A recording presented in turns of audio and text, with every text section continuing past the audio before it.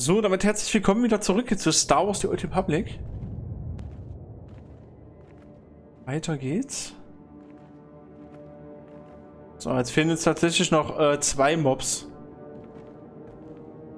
Ah. Werden wir den beiden Burschen hier nochmal einen Besuch abstatten.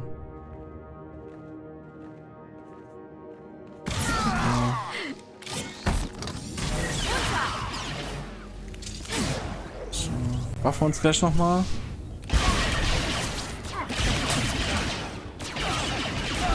So, wunderbar. Nebenquest schon mal abgeschlossen. Auch wenn wir sie aktiv nicht so äh, machen wollten, aber wir wurden mal wieder ekelhaft dazu gezwungen.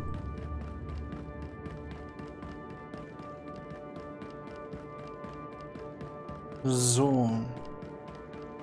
So muss das nämlich sein. So wird ein Schuh draus.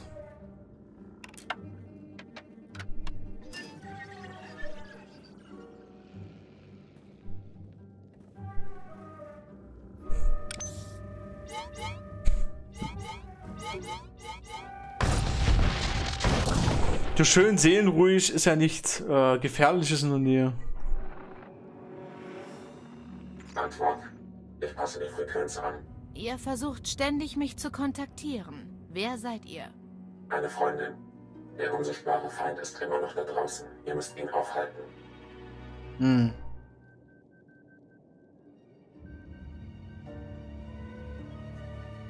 Es gibt keinen unsichtbaren Feind. Und ihr seid nicht meine Freundin. Ich kann keine Namen nennen. Sie überwachen alle Kanäle und füttern in jeder Sprache nach Wortkombinationen. Aber hört mir zu. Stützpunkt Aegis hat eine sichere Leitung zum Hauptquartier der Republik auf Corellia. Geht zum Terminal und verschafft mir Zugang. Wir brauchen Daten bezüglich der Verstärkungstruppen der Republik.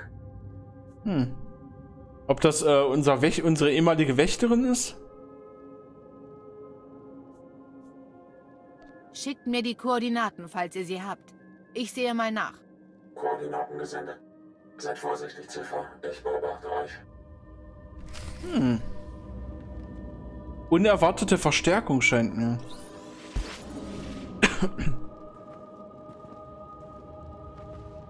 Wird sich zwar herausstellen, äh, beziehungsweise zeigen, wie viel diese neue Verstärkung taugt und ob sie ihr, äh, ihren Wert unter Beweis stellen kann. So. Es war so klar, dass ausgerechnet hier ein Goldener steht.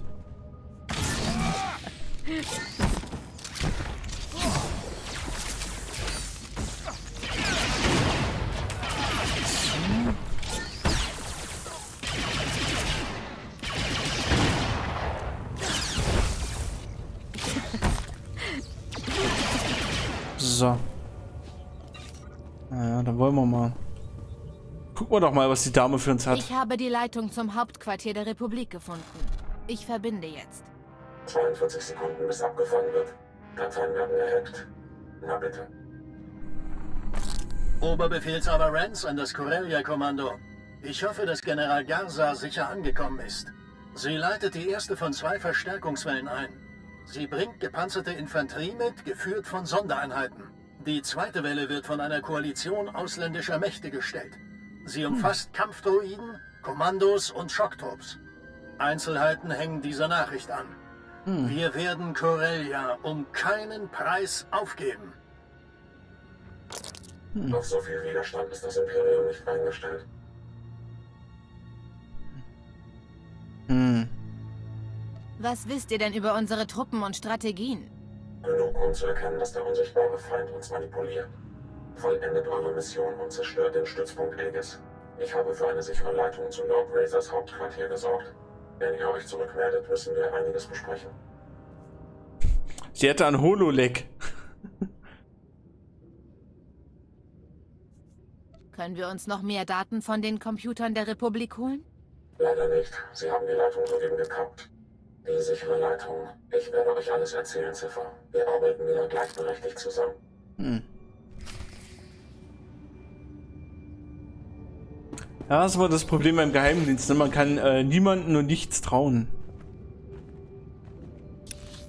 So, ja, schleichen wir uns mal weiter hier durch die Gegend. Aufklärungsdruide äh, tingelt da hinten rum. Ja gut.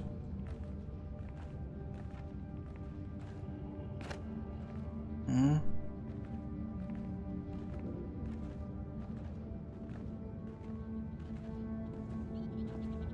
So. Ja gut, hier kommen wir. Hier werden wir nicht drum herum kommen, die auszuknipsen.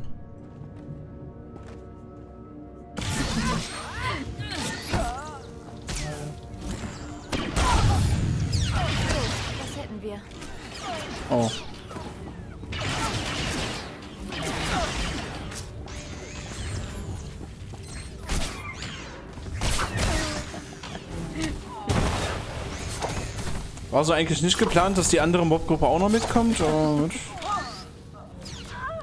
Spart mir das Einsammeln. Auch nicht so verkehrt. Hätten wir uns vorhin gar nicht die Mühe machen brauchen und alle einzeln äh, draußen schon killen. Hier Majone Decker. Countdown für den Sprengkopf beginnt. Bei Null zerfällt alles im Stützpunkt Aegis zu winzigen Teilchen. Ihr verschwindet besser dort. Letzterer an alle Staffeln. Luftraum um Stützpunkt Aegis verlassen. Los! Wow. Entkomme aus dem Stützpunkt. Hm. Gut, dass wir keinen Countdown haben. Das würde mich jetzt leicht äh, äh, verunsichern, beziehungsweise beunruhigen.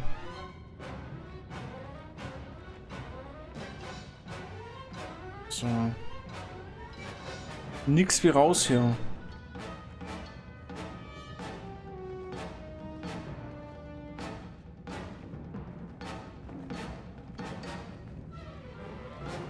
Hm. Der unsichtbare Tod verschwindet wieder. Frei nach dem Motto, this shit am out, ne?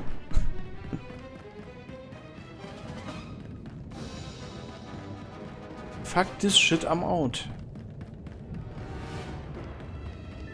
So. Müsste ich mir wahrscheinlich nebenbei immer mal ein bisschen angewöhnen. Das ein oder andere Schimpfwort mal einzubauen, damit wir nicht in diese ekelhafte Copper-Regelung reinfallen.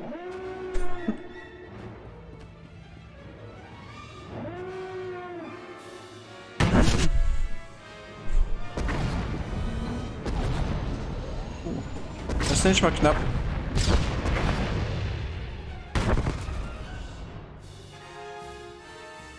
Das nenne ich mal knapp. Oh. Ah, ernsthaft. Widerlicher Feder, Johnny hier.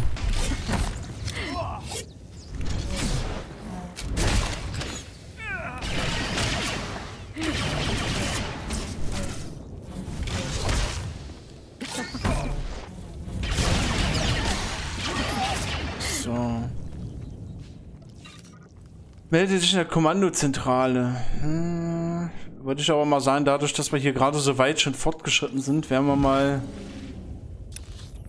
äh, dezent in den Süden erstmal noch gehen, oder? Na, wobei es nimmt sich, glaube ich, nicht so dolle viel. Naja. Gucken wir uns mal da unten erstmal um. Vielleicht haben wir Glück und finden irgendwo noch einen Bindepunkt zwischendurch.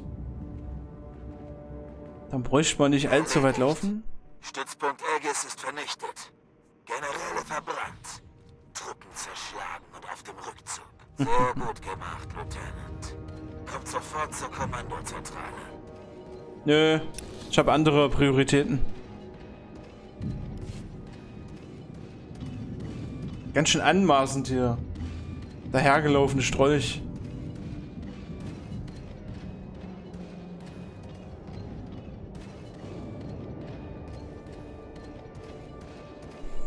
Würde mich tatsächlich mal interessieren, wenn man so ein bisschen Hintergrund äh, ähm, Knowledge noch kriegen würde, welchen Schaden das gerade anrichtet, dass der äh, imperiale Geheimdienst gerade quasi inaktiv ist. Ne? Das wäre tatsächlich ziemlich interessant. Oh, was haben wir denn da Schönes? Ja, was haben wir denn da Schönes?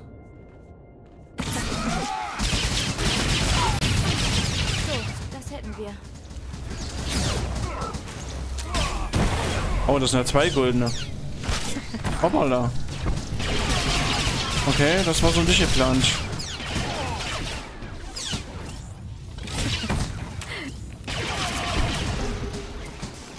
Hoppala. Das habe ich gar nicht gesehen. Ihr habt, dass das zwei goldene waren.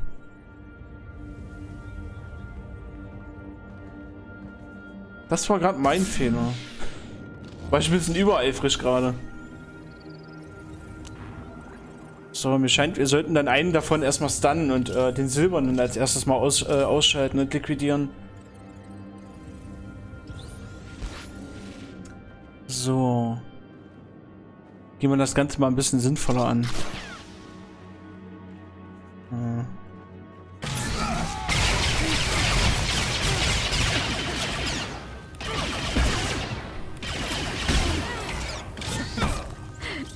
Wir gerade so reingelaufen und sagen, YOLO! War gerade nicht so praktisch.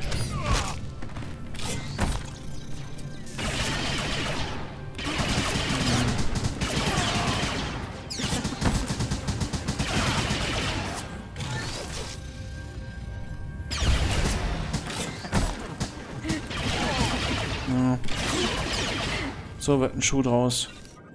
Schauen wir uns erstmal die Kiste als erstes. Nicht, dass irgendeiner, der gerade äh, vorbeiläuft, auf dumme Ideen kommt.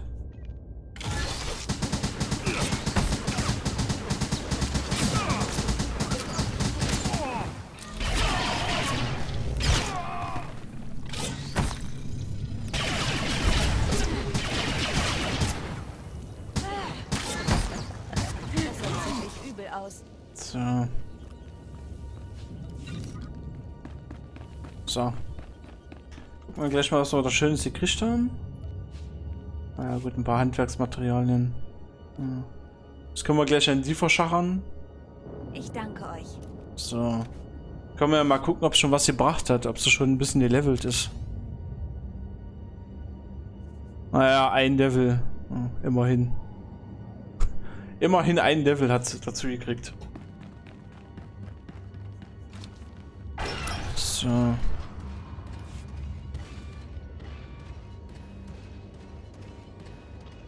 Hat ein klein bisschen was schon gebracht.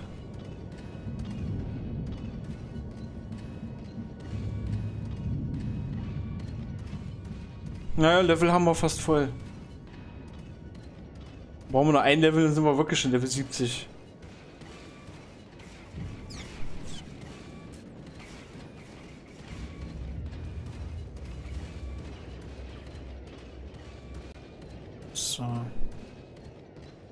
Endlich mal wieder ein Gebiet, wo uns nicht jeder auseinandernehmen will. Mal wieder ein imperial freundlichem Gebiet unterwegs. So.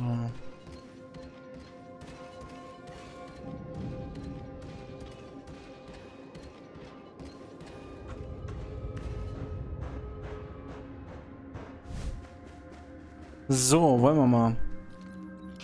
Die Lager von Chaka wurden zerstört. Wie kommen wir an den Rumpfbrecher? Ich werde euch sofort mit Darth Chanus verbinden. Von meinem Schiff aus hatte ich einen fantastischen Ausblick auf euer Werk. Die Truppen von Cherka schwirren umher wie verwirrte Insekten. Sie haben sich neu formiert, um ihren Bau zu verteidigen. Somit ist das Lager des Rumpfbrechers verwundbar. Chaka hat uns direkt in die Hände gespielt. Jetzt müssen wir uns ihren Sprengstoff holen. Commander Jastal und seine Leute sind in Position, bereit, den Rumpfbrecher zu sichern. Ihr werdet einen direkteren Angriff leiten. Euer Ziel ist Braltava. Er ist das Aushängeschild von Sharka Corellia und ein typischer verachtenswerter Widerling. Braltava besitzt die Detonationscodes des Rumpfbrechers. Ohne sie ist die Bombe nutzlos. Brecht in sein Büro ein, beschafft euch die Codes und meldet euch dann wieder. Bis dahin werden meine Leute den Rumpfbrecher bereits haben. Hm, sehe ich zwar noch nicht, aber lassen wir uns mal überraschen. Sagt euren Leuten, sie sollen sich auf den Angriff vorbereiten, Commander. Ich werde mich unverzüglich um Braltava kümmern. Bis ihr die Codes habt, werden wir auch den Rumpfbrecher haben. Hoffen wir's. Hoffen wir's mal, dass sie den bis dahin haben. So, das hätten wir. Ah, Level up. Level up. So, das können wir getrost erstmal ignorieren. Das ist alles schlechter. So. Hm. Komische neue Knarre.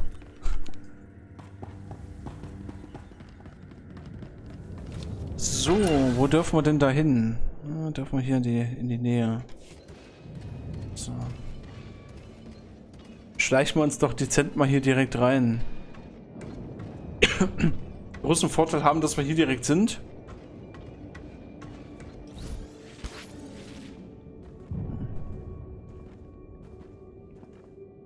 Schön geschmeidig durchschleichen.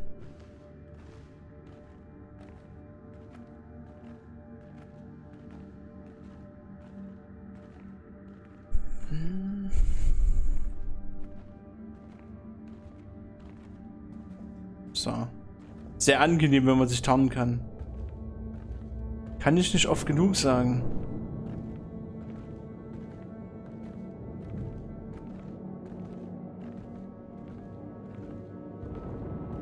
Hm.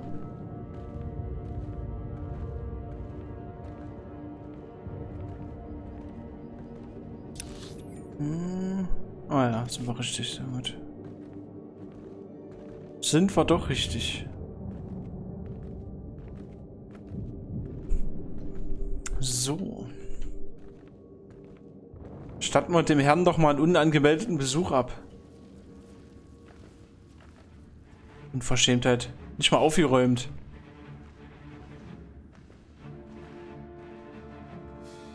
Hm. Hier nochmal durchschleichen.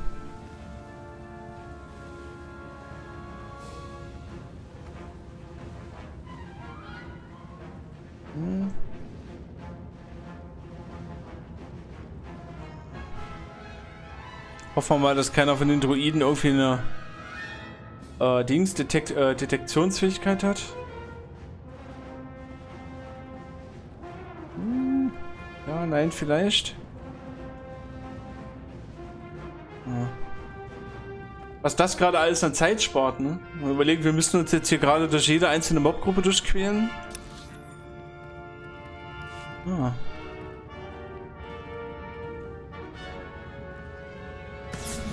Das schon echt hilfreich. Meine Herren, ich versichere euch, die Corellianische Ingenieursgesellschaft hat nichts zu befürchten. Der C9X-Druide wird euch gute Dienste leisten. Passt nur auf, dass euer Rumpfbrecher nicht in imperiale Hände gerät. Wie wir gehört haben, haben sie eure Mauern ja bereits durchbrochen. Zu spät. Es ist zwar lästig, aber kein Problem. Selbst wenn das Imperium an unsere Waffe gelangt, ist sie ohne die entsprechenden Codes nutzlos. Sagt dem Vorstand der CIG, dass ich alles im Griff habe. Hehehe, hier wollen wir tatsächlich mal das machen. Nennt mich noch einmal lästig und ihr könnt was erleben. Tötet mich nicht! Ich tue alles! Alles, was ihr wollt! Bleibt stark, Prall. Es ist besser, in Freiheit zu sterben, als unter der Fuchtel des Imperiums zu leben. Ihr habt leicht reden. Hier, hier habt ihr die Codes des Rumpfbrechers. Aber bitte, tut mir nicht weh. Zu spät. Ja, knipsen wir ihn mal aus. Sharka ist am Ende. Und die CIG ist als nächstes dran. Sie ist dagegen? Ernsthaft? Äh, wir erinnern uns, sie hat ihren eigenen Vater liquidiert, ne? Und hier ist er dagegen, dass, ein Ver dass einen Verräter ausknipsen. Commander, Braltava ist tot. Die Detonationscodes sind gesichert. Gute Arbeit. Dank eures früheren Angriffs haben meine Leute den Rumpfbrecher sichergestellt und für die Sprengung vorbereitet. Darth Charnus will euch inzwischen an Bord der Tears of Taris sehen. Er ist bereit für den Angriff auf die CIG. Sehr gut. Das sah ziemlich übel Äh. aus. Okay, warum da auch auf einmal jetzt ein komischer Druide angehechelt kommt? Muss ich das gerade verstehen?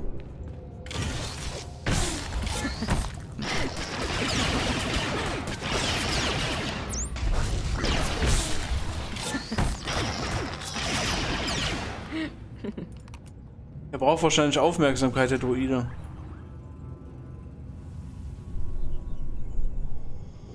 So. Wo dürfen wir denn als nächstes hin? Okay. Coruscant, äh, äh, nicht Coruscant. Coronet, Raumhafen Coronet dürfen wir wieder zurück. Na gut, dass wir das eben erst gemacht hatten, als ob ich es nämlich geahnt habe, denn... Sonst hätten wir jetzt nämlich wieder in die Richtung laufen müssen. Und äh, wie wir sehen, müssen wir jetzt sowieso für beide Quests wieder da oben hin. Haben wir richtigen Instinkt gerade wieder bewiesen. Hm. Mit. Hm. Kommen wir auch hier schnell ein bisschen ein was besseres. Angebot findet ihr nirgends. So, das kann weg, das kann weg und das kann weg. Ihr könnt jederzeit wiederkommen. So.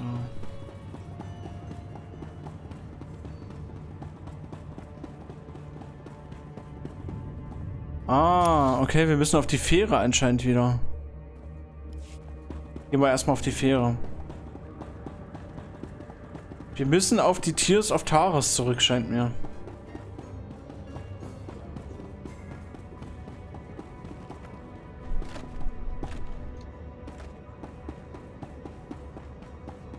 So.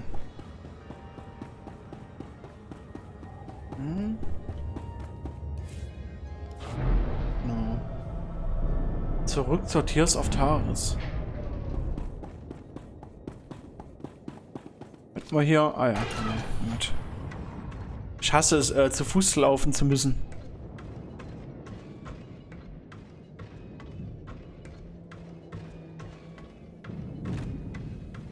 All-Terrain Duck Transporter. Hm, da war's wieder. So.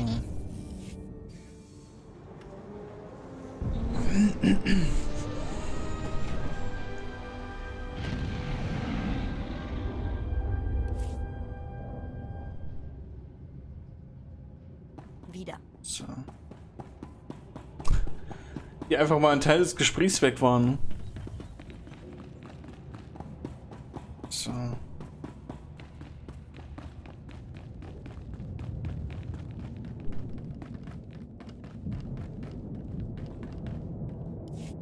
Sind die Detonationscodes. Braltava konnte sie gar nicht schnell genug herausgeben. Das kann ich mir vorstellen. Dank euch gehört der Rumpfbrecher von Cherka Corellia jetzt uns. Mit diesen Codes können wir seine Macht wachrufen. Commander Jastal hat mir erzählt, was ihr mit Braltava gemacht habt. Sein frühes Ende hat Cherkas Widerstand schnell gebrochen. Hm. Braltavas Bestrafung wird jedem Rebellen auf Corellia zu denken geben.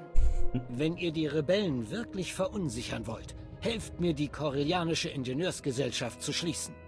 Da wir jetzt den Rumpfbrecher besitzen, können wir die CIG endlich ausschalten und ihre Angriffe auf unsere Raketenbahnen beenden. Aber zuerst müssen wir uns ihrer Armee annehmen. Legionen von Kampfdroiden verteidigen die CIG-Festung. Unser Sprengkommando kommt nahe genug heran, um den Rumpfbrecher detonieren zu lassen. Haben sie tatsächlich mal gute Vorarbeit geleistet und das Ding wirklich äh, vorher besorgt. Die CIG muss sie doch irgendwie steuern. Stört die Kommunikation mit den Droiden und sie werden die Kontrolle verlieren. Ihr habt recht.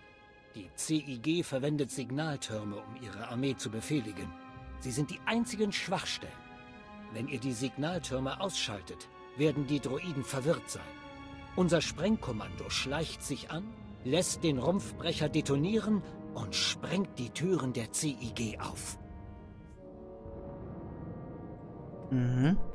Die CIG wird bald den Kontakt zu ihrer Armee verlieren. Wenn ihr die Signaltürme ausgeschaltet habt, kontaktiert Commander Quaid im CIG-Gebiet. Er wird euch auf den letzten Angriff vorbereiten.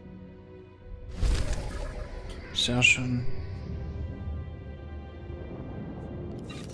Wunderbar.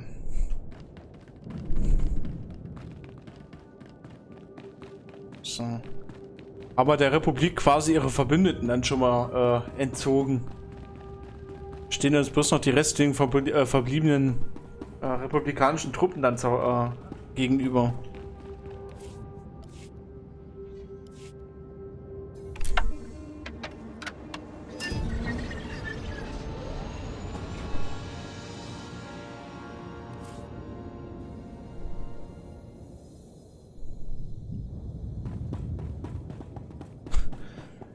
gegenüber. äh, wie diese Dinge einfach mal ein massives Hindernis darstellen, ne? Wie unrealistisch, als ob man da nicht durchlaufen kann.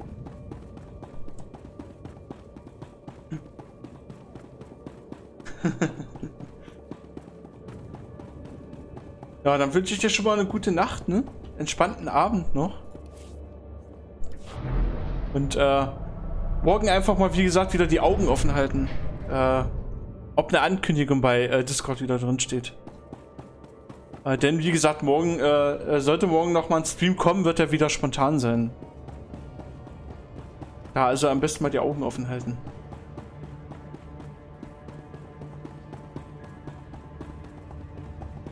Machen wir dann, denke ich mal, spontan. So. Eventuell äh, mal wieder ein äh, Star Wars Battlefront äh, 2 Stream vielleicht morgen Abend. Oder wie gesagt, falls wir heute nicht fertig werden sollten mit Corellia, dann äh, werde ich wahrscheinlich nochmal äh, einen SWTOR Stream morgen reindrücken. Oh, bin schon weit weg. Ganz schön weit weg.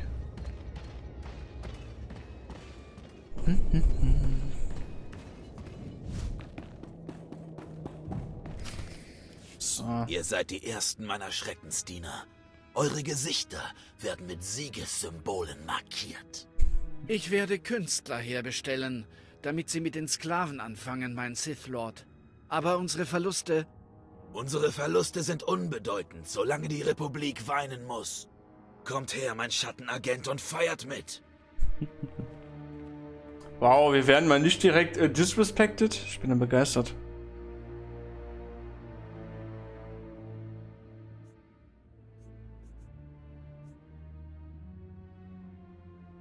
Hm. Naja, fürs Imperium, ne? auch wenn wir dunkle Seitepunkte kassieren. Die Republik entsendet noch mehr Truppen nach Corellia. Ich habe die Daten im Stützpunkt Ergis gefunden. Dann sterben die eben auch. Ich sehe mir die Daten mal an.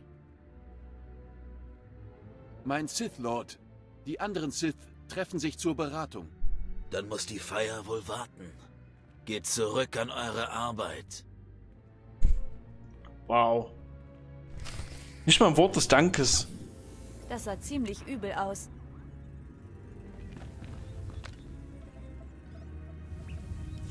Sicherer Kommunikationskanal geöffnet. Hm. Entschlüsselungsprogramm wird hochgeladen. Ah. Jetzt sind wir wieder zusammen, Ziffer. Ha, hab ich's doch gewusst. Habe ich's doch gewusst.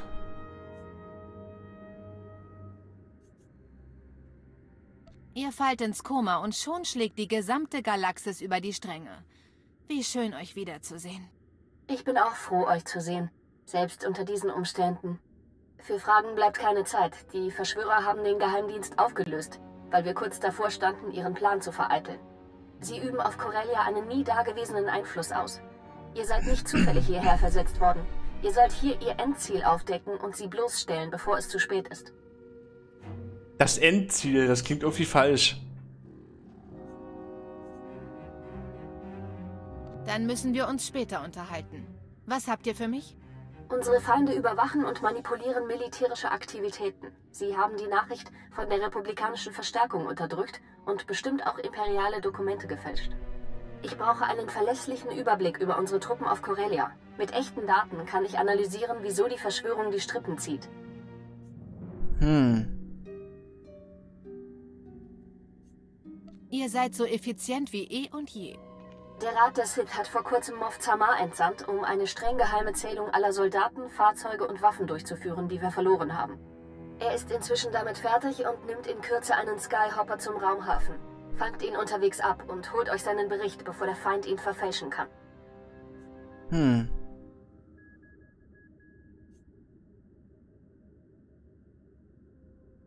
Ich brauche die Route des Skyhoppers und irgendwas, das seine Aufmerksamkeit erregt.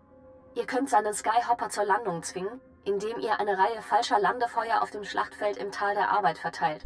Sobald er auf dem Boden ist, wird seine Eskorte von der imperialen Garde das Schiff beschützen, während ihr ihn aufspürt. Dann müsst ihr sehen, wie ihr den Bericht bekommt. Wir finden da schon einen Weg, den einen oder anderen. Hoffentlich macht er mich nicht für seinen Flugplan verantwortlich. Es gibt da ein Kennwort, chromatisch. Entweder bringt das Zamar dazu, mit euch zu kooperieren, oder es macht ihn misstrauisch. Tut, was ihr tun müsst. Wir reden dann später. Mhm. So. Mit diesen chromatischen Abschlussworten würde ich sagen, äh, die Uhr sagt nämlich Folgenpäuschen. Aber war es das für diese Folge tatsächlich wieder? Äh, bedanke ich mich äh, an euch da draußen auf YouTube fürs Zuschauen. Ähm, Däumchen wäre ein Träumchen, ihr kennt das Spiel. Äh, gerne auch ein Abo dalassen, wenn ihr mögt. Und ja, nächste Folge geht es dann hier weiter mit äh, koreanischer Agenten-Action. Dann würde ich sagen, ciao, ciao, bis zur nächsten Folge und möge die Macht mit euch sein.